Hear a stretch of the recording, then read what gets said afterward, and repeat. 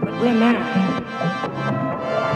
All I've got to look forward to is dishes and a closet full of room. We've gotten to the place we're even sleeping in separate bedrooms. We both should know that love affair ended when we say I do.